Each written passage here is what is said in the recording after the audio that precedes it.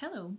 Today's poem is called Ice Cubes and it comes from this book, Splish Splash. One of the reasons why I love this book is that all of the poems in here look like what they're about. So this one called Ice Cubes is written to look like ice cubes. Ice cubes, clicking, clatter, clink, crazily inside my drink. Crystal chorus, clear and bold, chattering about the cold. And I also love the way the author has used all of those sounds, the hard C and K sounds, sounding like ice cubes in a glass. See you soon.